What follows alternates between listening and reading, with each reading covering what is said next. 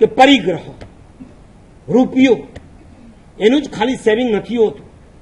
મારે એ કેવું છે, તમારી લાઈફમાં પાંચ ચીજનું સેવિંગ કરશો.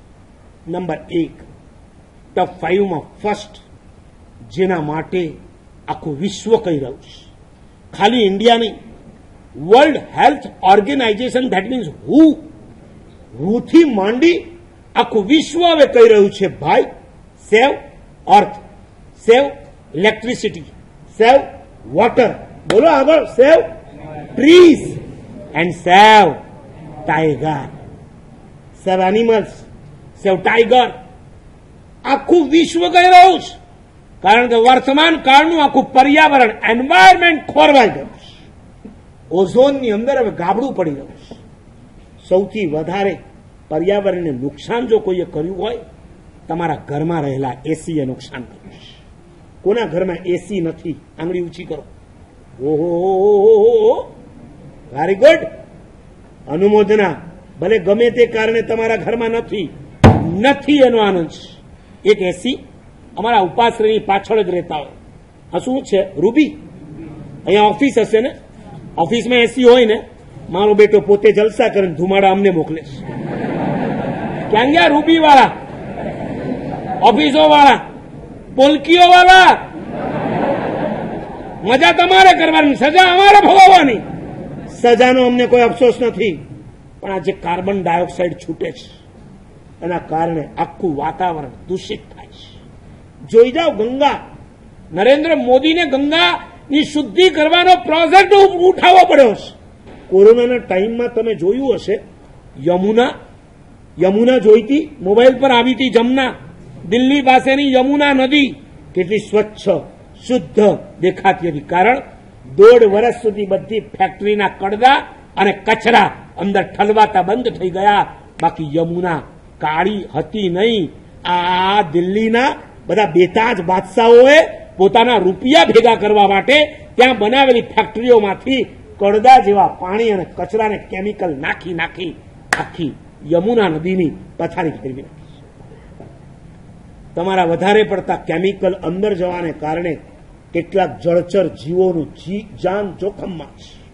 માછલા મગરમાછ જો પાણીમાં જન્મે, પાણીમાં જીવે, પાણીમાં મૃત્યુ પામે. સાચું બોલો, તમે પાણીને બદલે કેમિકલ પી લો તો તમારી શું હાલત થાય? બચી શકો ખરા? ના બચી શકો. તમને તો હજી હોસ્પિટલની અંદર લઈ જવાય. આ માછલા, આ મગરમાછ આ બધાનું શું થતું હશે? પરદેશ ફરવા જાઓ છો કે નથી જતા? આઉટ ઓફ ઇન્ડિયા કોણ કોણ જઈને આપ્યું છે? ફટાફટ. ફટાફટ. આઉટ ઓફ ઇન્ડિયા દુબઈ પણ આઉટ ઓફ ઇન્ડિયા કહેવાય. ગોવા ભલે ના કહેવાય. તમે સિંગાપોર, તાઇવાન, જ્યાં પણ ગયા હો, Hong Kong Bangkok Canada, Australia, UK, Africa, America, જ્યાં પણ ગયા હો, ક્રૂઝમાં કોણ બેઠું હતું? કોઈ બહુમાન નથી થવાનું? આમ કરે છે. જાણે એનું બહુમાન થવાનું હોય ને. અચ્છા, હવે તમને કહું તમે ક્રુઝમાં બેસો છો, ક્રૂઝ ચાલે છે કઈ રીતના? તમારા ત્રણ દિવસ અને સી સાઈડની તમારું સીંગ હોય છે ને, એના તો જે રૂપિયા લાગે છે.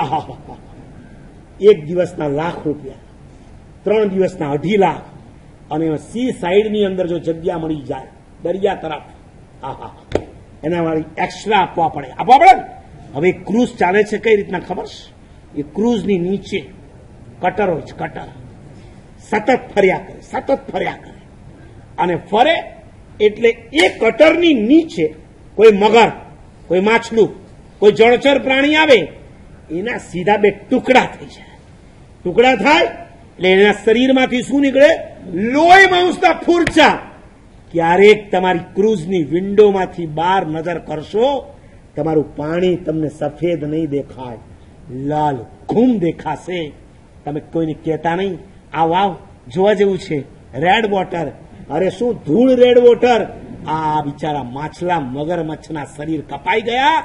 એના શરીરમાંથી નીકળેલા માંસના લોચા અને લોહી એનાથી લથબથ થયેલું આ પાણી છે. અને તું એમ કે છે રેડ વોટર આ રેડ વોટર નથી. આ લાલ ખૂન લોહી છે. આનું પાપ લાગે કે ન લાગે? ક્રુઝમાં બેસનારને લાગે કે ન લાગે? આમ ગાડીમાં બેસીને નીકળ્યા હો ને એક નાનકડું ગલુડિયું તમારી ગાડી નીચે આવી જાય છે ને, તમે દોડતા આવો છો, તમારી મમ્મીને લઈને આવો છો. મારા સાહેબ, આજે મારાથી ભૂલ થઈ ગઈ. પગ પૈડા નીચે ગલુડિયું કપાઈ ગયું. આમ થઈ ગયું. પછી અમે પ્રાયશ્ચિત આપીએ. તમે હોંશે હોંશે લઈ લો કારણ કે તમને આ પાપ નથી જોઈતું. હું એમ કહું છું, એક નાનકડી કીડી તમારા પગ નીચે આવે, એ તમને પોસાય એમ નથી. અને ક્રૂઝ નીચે હજારો જીવો કપાઈ જાય. પોસાય કઈ. આપું બાધા? પરદેશ જવાની બાધા નથી આપતો. પણ પરદેશ ગયા પછી ક્રૂઝમાં નહીં બેસવા. સ્વૈચ્છિક. હું પરાણે કોઈને બાધા નથી આપતો. સ્વૈચ્છિક તમારી ઈચ્છા હોય તો હાથ જોડો. કે અમે ક્રૂઝમાં ક્યારેય નહીં બેસીએ. કેમ બધાએ બુકિંગ કરાવી લીધું